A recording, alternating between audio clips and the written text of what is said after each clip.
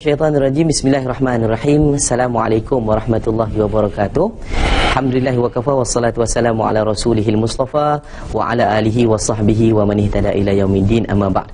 Apa khabar rakan-rakan penonton yang dirahmati Allah sekalian uh, yang sedang membeli juada, yang sedang uh, bersiap-siap untuk berbuka.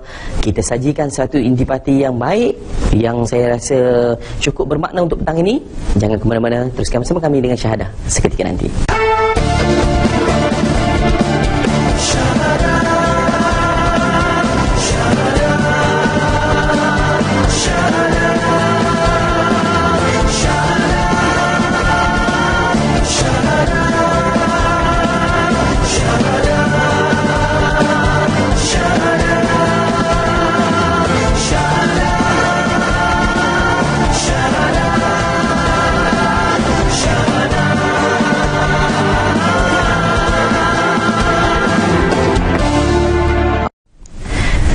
Alhamdulillah Terima kasih saudara yang dirahmati Allah sekalian yang tersetia bersama dengan kami dalam syahadah untuk petang ini sambil-sambil kita hiburkan hati kita yang lara menghitung waktu bila berbuka dan pastinya sajian minda kita untuk petang ini adalah sesuatu yang terbaik di samping kita meningkatkan nilai, nilai ketakwaan di sisi Allah Subhanahu Wa Taala. Rakan-rakan yang dirahmati Allah sekalian, satu isu yang bakal kita berikan fokus pada petang ini berkaitan dengan suatu uh, peristiwa ataupun suatu pengalaman daripada seorang pakar anak tempatan kita Malaysia yang berkecimpung dalam dunia seni bina dan akhirnya bersama dengan beberapa orang panel pakar antarabangsa dalam uh, seni bina antarabangsa pembesaran khususnya dalam pembesaran Masjidil Haram maka kita bersama dengan yang berbahagia Profesor Dr. Ismawi Zain Assalamualaikum Prof Assalamualaikum. Apa khabar Prof? Alhamdulillah. Alhamdulillah. Selamat puasa. Alhamdulillah kan? Alhamdulillah. Jadi sibuk-sibuk puasa pun Masih lagi berkesempatan bersama dengan kita. Alhamdulillah. Dan terima kasih kerana sudi bersama dengan kami. Dan uh, saya rasa berbangga sebenarnya. Bila dapat bertemu dengan salah seorang Yang terlibat dalam uh, usaha pem- pembinaan Ataupun pembesaran uh, Masjidil Haram yang baru sekarang ini. Jadi Prof di antara lima orang saya di, difahamkan. Jadi bagaimana Prof uh, pengalaman uh, dipilih bersama-sama dengan mereka Allah uh, sebenarnya pengalaman tu satu pengalaman yang unik lah Mhm. sebabnya saya tidak pernah terfikir yang saya akan dipilih. Masya Allah uh, tidak pernah dalam hati kita kita akan dipilih lah. Hmm. tapi Allah tu maha besar kan? Masya Allah. maha besar. Jadi dia tahu uh, perancangannya Hmm. sendiri. Dan uh, apabila dipilih kita merasa uh, kata orang satu satu kehibaan kan? Sebab itu perasaan yang kita tak boleh bangga. Hmm, kita tak boleh merasa bangga. Sebab ini adalah sebenarnya rezeki yang terlampau besar eh, daripada Allah Subhanahu Wa Taala Hmm, ya, saya. Ah, sebab untuk dipilih di antara uh, begitu ramai Hmm, orang yang lebih pakar daripada kita Ya, uh, itu satu rahmat yang Hmm, amat besar lah dan uh, saya rasa uh, perkara yang kita uh, kena ingat waktu itu ialah bersyukur lah. Masya bersyukur Allah. Ah, insyaAllah Jadi satu penganugerahan yang Allah Ya. beri pada Prof Ya. dan sebenarnya satu pengiktirafan kepada anak uh, warga tempatan kita Malaysia diangkat bersama dengan uh, pakar-pakar yang lain. Alhamdulillah Jadi mungkin saya nak kongsi sikit dengan Prof lah. Hmm. Uh, mungkin kalau boleh lah Prof cerita sikit latar belakang bagaimana Prof pada peringkat awal terlibat dengan um, dunia seni bina ni. Adakah dulu masa dulu buat Lego ke? Sebagainya ha, macam mana Prof? zaman kita dulu tak ada Lego, tak ada Lego. Tapi tapi di waktu tu uh, kata orang minat uh, dalam bidang seni ni, Mhm. seni terutama sekali seni untuk reka bentuk dan uh, penciptaan ni. Saya rasa untuk orang Melayu adalah satu perkara yang yang agak natural, Ya, saya- agak agak semula jadi kan. Sebab kita biasa dengan membuat sesuatu. Dan apabila kita dapat peluang untuk kata orang me- memperbaiki dan me- meningkatkan uh, ilmu dalam bidang tu maka kita ambil peluang berkenaan. Uh, dan uh, dan sebenarnya seperti juga pelajar-pelajar lain saya di waktu itu tidak begitu tahulah tentang hmm. apa dia seni malah uh, kata orang kita ni dari Pulau Bandar ya, kata orang nak melihat satu bangunan hmm. batu bangunan hmm. konkret tu pun sukar kan ya saya jadi kita nak ambil yang tadi yang bila prof kata kita hmm. orang luar bandar maksudnya ha. orang kampung ha. tiba-tiba dapat sesuatu ha. yang baru ha. kita nak sambung lepas ni hmm. nak cerita pada uh, rakan-rakan kita yang lain tapi samping itu prof hmm. kita nak berkongsi sesuatu tentang uh, sejarah Islam yang lampau hmm. bila sebut sebagai alhamra hmm. pasti semua orang hmm. akan tahu dan yeah. tertanya-tanya bagaimana dia boleh berdiri kukuh sehingga hari ini uh, menjadi satu pusat uh, pelancongan menjadi tarikan kepada uh, para pelancong luar untuk melihat sebuah bangunan yang dibina berdiri kukuh di atas satu bukit merah dan dikelilingi oleh sungai Daru dan ia merupakan satu uh, yang boleh memukau bagi hmm. orang yang ingin mengkaji tentang sejarah. Mari kita saksikan bingkisan ini. Alhamra masih berdiri kukuh menyaksikan pelbagai sejarah yang berlaku sepanjang zaman. Keunikan Alhamra yang didirikan di atas Bukit Merah dengan dikelilingi oleh hutan dan sungai Daro menjadikan ia tumpuan setiap pelancong yang datang bertandang.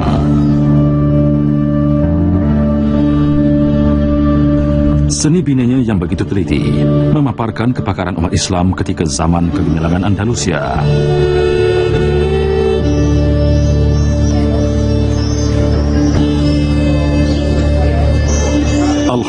Merupakan sebuah kubu sebelum ditukar menjadi istana untuk tujuan keselamatan ahli keluarga dinasti Nasrid. Kawasan yang menjadi tumpuan ramai ialah Istana Nasrid. Tiada langsung figura manusia digunakan dalam mengekspresikan nilai seni. Islam sendiri mengharamkan figura manusia diterjemah sebagai ukiran. Keharmonian istana ini terserlah dengan kewujudan air sebagai elemen penyejuk. Kolam-kolam dibina dalam setiap istana beserta air pancut yang menjadi simbol Alhamra. Begitu hebatnya seni bina Islam sehingga menyebabkan seluruh uh, dunia mengiktiraf seni bina yang terbangun dan terbina. Dan inilah dia kepakaran dan juga keunikan yang dihasilkan oleh umat Islam zaman lampau. Tidak dapat dinafikan juga bahawa kepakaran itu juga sedang dimiliki oleh orang Islam hingga hari ini cuma bagaimana untuk kita mengiktiraf mereka. Jadi kita beruntung bersama dengan yang bahagia Prof yang terlibat secara langsung dalam pembinaan Masjid Masjidil Haram. Jadi Prof bila sebut tadi Alhamra, saya yakin uh, semua orang bila tengok aja, wah cantiknya. ha, kan? Jadi Prof, uh, apa pandangan Prof dari sudut seni bina yang begitu hebat pada pandangan mata kaca Prof sini?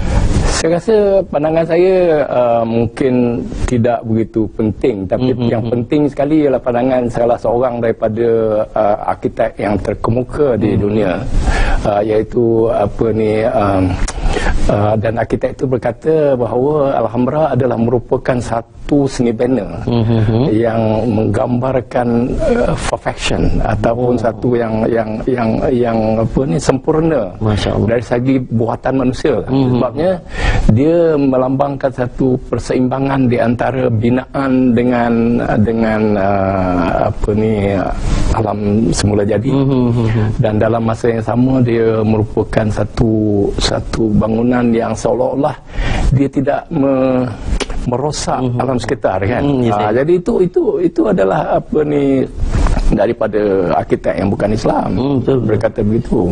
Uh, dan uh, kita kita sebagai orang Islam hmm. apatah lagi kita? Hmm. untuk itu saya sendiri uh, terlibat dengan seni bina Islam ni sejak saya membaca tentang Alhamra oh. pada tahun 1981 hmm. saya terjumpa satu buku uh, yang ada gambar Alhamra baru saya tahu sebenarnya di Eropah itu ya, ada saya... temadun Islam. Uh, dan pada tahun 7 700 apa ni? Uh, uh, 80 uh-huh. apa ni? Tarik uh, bin Ziyad dia uh-huh. menyeberangi. Uh, apa ni? Uh, apa tu? Uh, selat selat uh, Gibraltar uh-huh. kan? Dan uh, menubuhkan uh, apa ni? Islam di Andalusia uh-huh. yang bertahan selama lebih 700 tahun uh-huh. dan Alhambra adalah merupakan uh, apa ni binaan uh, dari, hasil daripada uh, kerajaan Granada uh-huh. yang menggantikan kerajaan Cordoba. Ya tu. Waktu itu. Uh-huh. Nah, jadi memang mengagumkanlah, uh-huh. mengagumkan. Jadi ia merupakan satu inspirasi buat oh, Prof. Ya, ya, uh, ya. Jadi tak dapat dinafikan siapa-siapa pun kalau mengkaji dari sudut seni bina macam tadi Prof kata itu di antara pembuka cita rasa Prof sendiri untuk terus mendalami uh-huh. ilmu seni bina ni. Uh-huh. Jadi Prof, kita lihat juga dari sudut uh, seni bina masjid-masjid kita lah uh-huh. di tanah air yang saya sendiri pun tak tak tak nafikan bahawa ada keunikan yang tersendiri. Yeah, yeah. Jadi pada pandangan Prof uh, dari sudut pembinaan sama ada masjid tu kecil, hmm. surau ke hmm. atau ke masjid-masjid besar, hmm. uh, sejauh mana nilai keunikan yang ada daripada seni orang-orang kita sendiri?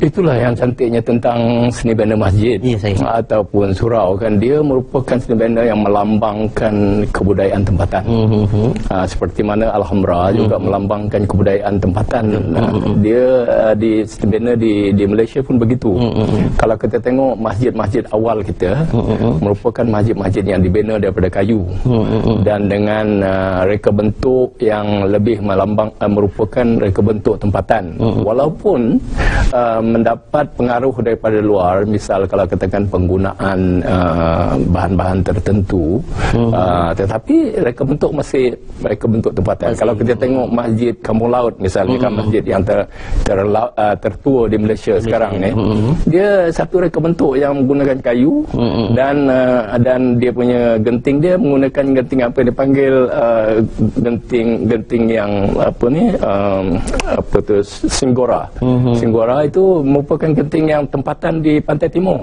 Uh-huh. Di pantai timur. Ha, begitu juga masjid lain. Kalau kita tengok masjid satu lagi masjid uh, wilayah ini, uh-huh. iaitu masjid uh, Demak misalnya, yes, pun menggunakan uh, bahan kayu, uh-huh. malahan tiangnya kayu bulat, uh-huh. kan? Uh, dan reka bentuknya reka bentuk um, seperti juga bangunan-bangunan jauh yang lain. Masya Allah. Uh, jadi uh, cumanya uh, pengaruh uh, global.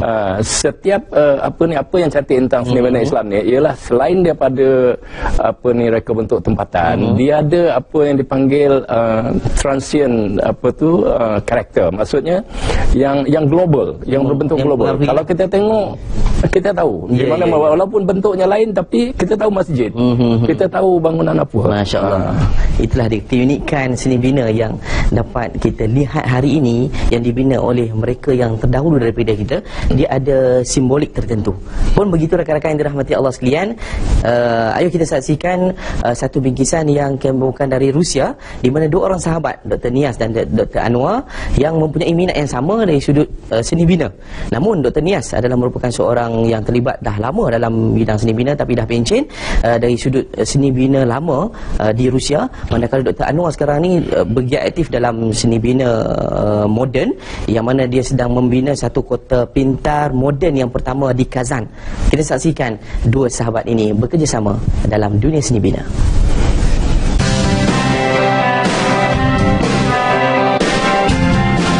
Kepakaran beliau sebagai arkitek tersohor Rusia digunakan untuk membantu kerja-kerja pembinaan kompleks Masjid Qul Sharif. Setelah 45 tahun, Dr. Nias terlibat dalam kajian berkenaan seni bina Tatarstan dan Rusia. Sehingga kini beliau banyak menulis buku berkaitan seni bina Islam. Buku-buku beliau bukan sahaja digunakan untuk pengajaran dan kajian, malah menjadi rujukan pelajar arkitek di universiti seluruh Rusia. Dr. Nias berazam mengangkat martabat seni bina Tatarstan ke mata dunia. Иначе как бы они сохранились до сегодняшнего дня? Это совершенные произведения архитектуры, мобильные. Это юрта, это шатер, это кибитка. А, они существуют тысячелетия без изменений. Настолько совершенны эти конструкции. И они э, повлияли потом на э, архитектуру э, стационарную, когда начали переходить к оседлости. И параллельно существовали в течение столетий, если даже не тысячелетий. То есть у кочевых народов были стационарные памятники, это Дюрбе, это мечети, это города столицы. Скажем, тот же нагайский народ имел, Керменчек у него была столица, он такой нормальный был город, а сами нагайцы кочевали. Masjid Brunei yang wujud sejak tahun 1878 di Kazan ini antara masjid yang dikaji oleh Dr. Nias. Walaupun mempunyai pengaruh binaan Rusia dan seni bina zaman Renaissance, kebanyakan masjid lama mempunyai hiasan dalaman yang mengekalkan seni ukir halus seperti binaan Islam lain. Keadaan sama kelihatan ketika kami meninjau Masjid Azimah. Elemen seni bina zaman Renaissance jelas kelihatan. Tiang-tiang agam yang tersusun dengan cornice melatari dinding antara ciri utama seni bina berasaskan zaman Renaissance.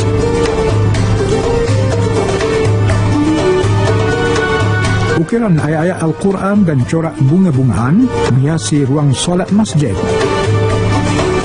Islam tidak sesekali menghalang umatnya untuk menghias rumah Allah asalkan tidak keterlaluan hingga membawa kepada kemegahan dalam beribadah. Malah Allah turut berfirman dalam surah At-Taubah ayat 108 berkaitan tuntutan mengerjakan solat dalam masjid yang dibina atas dasar takwa sahaja bukan melihat kepada keindahan masjid semata-mata. Masjid-masjid ini masih dipelihara dan dikekalkan dalam bentuknya yang asal. Secara tidak langsung, generasi muda dapat mempelajari dan menikmati seni bina yang dihasilkan pada zaman lampau. Dr. Anwar antara arkitek yang banyak mengambil seni bina silam Tatar sebagai rujukan tugas sebagai senior head atau ketua arkitek untuk projek Allah Baru Inapolis memerlukan beliau untuk mengetahui lebih mendalam segala cabang ilmu dalam seni bina.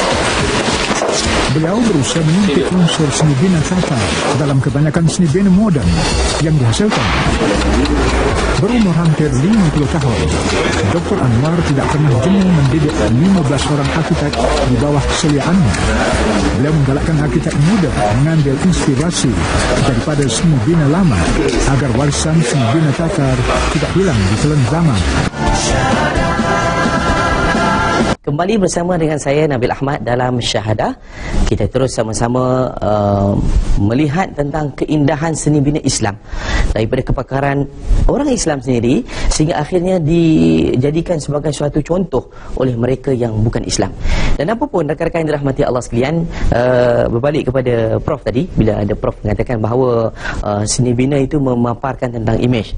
Hmm. Jadi bila melihat dari sudut uh, kita tengok tadi paparan tadi dua sahabat juga hmm. uh, dalam seni bina mereka.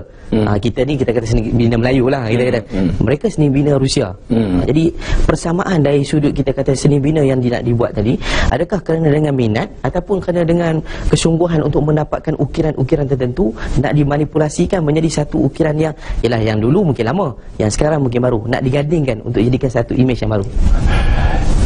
Itu yang cantik tentang seni bina Islam. Ya, saya. Sebab dia merupakan satu uh, seni yang berkembang mengikut mm -mm. masa dan teknologi. Kan? Ha, jadi kita mendahului uh, orang lain mm -mm. di dalam bidang tu. Mm -mm. Sebabnya kalau kita perhatikan mm -mm. Uh, seni bina ke apa-apa yang dicipta dari segi mm -mm. seni dalam Islam ni, dia sebenarnya berasal daripada benda-benda yang yang yang mudah yang yang kita guna seharian. Uh, jadi benda tu di, di dibangunkan supaya menjadi satu yang yang perfect, yang Masya yang Allah. yang sempurna. Ya, saya. Uh, sesempurna yang boleh. Mm, mm, mm, sempurna yang boleh. Uh, sebab itu menunjukkan uh, ke satu satu apa ni uh, apa ni kita punya kata sifat sifat di mana hmm. kita mencari kebaikan Keba, uh, uh, dan dan dan dan dan kita kita samakan seni itu dengan kebenaran hmm. uh, dan sebagainya kan hmm. jadi apa yang dicipta tu satu yang yang yang yang amat indah lah hmm. seindah yang boleh walaupun dia misalnya satu sudu saja ya, misalnya hmm. uh, begitu juga seni bina kali jadi kalau dan dan teknologi itu kita uh, membantu uh, penciptaan tu. Misal kalau kita kita balik kepada uh, penggunaan bahan tempatan kan. Ya, saya. Bahan tempatan ni kadang-kadang ba- bahan tempatan yang paling murah, yang paling sederhana uh-uh. boleh dijadikan suatu benda yang yang cantik ya, apa ni objek di art. Uh-uh. Misal kalau katakan uh, uh, seni bina Islam yang me, me, menunjukkan ataupun uh, memperkenalkan kepada seni banner uh-huh. secara keseluruhan yang penggunaan gypsum. Uh-huh. Gypsum ni di di Eropah sebelum Islam datang ke Eropah Ya, saya. adalah satu bahan yang tidak berguna. Uh-huh. Tetapi apabila Islam datang, diguna dekat Alhambra, diguna dekat apa ni Cordoba dan sebagainya, dia merupakan satu bahan yang yang Bernilai. sangat cantik, bernilai Mm-mm. dan cantik boleh digunakan untuk pelbagai pelbagai benda misal kalau kata untuk mengawal bunyi, untuk sebab mereka bentuk uh, apa mukrnas uh, mengawal apa ni Kedap udara tu. cahaya Ah, ah, ah. cahaya dan udara dan sebagainya. Hmm. Ah, begitu juga di tempat-tempat lain kita menggunakan satu satu bahan yang yang yang sederhana Hmm. dicipta menjadi satu yang indah. Sebab konsep uh, seniman Islam ni dia adalah berpegang kepada konsep apa yang dipanggil dalam Latin Hmm. uh, apa ni si- simplex sigillum berry. Maksudnya simple itu uh, ataupun sederhana itu adalah gambaran kebenaran. Masya Allah Mudah saja. Hmm. ha. Jadi rakan-rakan yang dirahmati Allah sekalian Panjang cerita daripada Prof tadi Itu cerita tentang seni bina. Ini mungkin akhirnya Prof. Kita nak tanya dari sudut uh, seni bina uh, Di masjid Ataupun uh, surau-surau yang lama Adakah perlu dikekalkan? Ataupun orang kata zaman sekarang ni Roboh lah Buat bangunan baru buat eh, Kita buat ukiran baru lah. Hmm. Pada pandangan Prof Adakah perlu kita kekal Ataupun kita? Saya sentiasa berpegang kepada satu uh, apa ni falsafah iaitu seorang yang tidak ada masa lepas, masa lampau, tidak ada masa depan. ha, jadi sebab tu saya saya lebih suka kepada pembinaan yang meneruskan apa ni apa yang telah dicapai dahulu. Masya- Bukan kita nak meniru, tapi kita teruskan dengan ilmu yang baru, uh, apa, apa ni research yang baru, dengan bahan yang baru, dengan teknologi yang baru. Jadi kita tidak mengatakan kita fossilize ataupun buat fosil apa yang ada. Tidak. Tapi kita kita perbaharui sebab tu Islam tu dia dari sini bina dia? Daripada dari pusat daripada semenanjung Arab sampai ke Maghrib uh, sampai ke timur. Masih perkembangannya terlampau besar Baik, terima kasih Prof. Hmm. Jadi jelas bagi kita bahawa uh, bila sebut tentang seni bina Islam memang mempengaruhi uh, boleh katakan dunia sehingga boleh diiktiraf dan boleh di, diangkat untuk ditiru oleh uh, orang yang bukan berbangsa uh, uh, boleh yang ber, beragama Islam. Dan inilah dia keunikannya yang dapat kita kongsikan ketika ini. Uh, terima kasih Prof uh, dapat bersama dengan kita dan sebagai tanda terima kasih kami. Hmm. Uh, jadi saya ingin menyampaikan uh, sumbangan daripada penaja kita Serai Mas. Untuk yang bagi Terima banyak. InsyaAllah Oh, mudah-mudahan. ini rezeki bulan puasa. Alhamdulillah Mudah-mudahan insyaAllah. Jadi apa pun rakan-rakan yang dirahmati Allah sekalian Tengok sesuatu Hasil daripada ciptaan Ataupun uh, ukiran uh, Seni bina Islam Fikirkanlah. Di situlah akan terlahirnya Nilai uh, Ketinggian Islam itu Bukan hanya pada lukisan Bukan hanya pada seni bina Tapi sebenarnya Pada hati orang yang melakar Ataupun melukis Sekian saja daripada kami InsyaAllah. Teruskan bersama dengan kami Lagi pada esok hari Dalam syahadah. Pastinya ada episod yang Menarik Menanti anda. Sekian saja daripada kami. Siru ala barakatillah. Assalamualaikum Warahmatullahi Wabarakatuh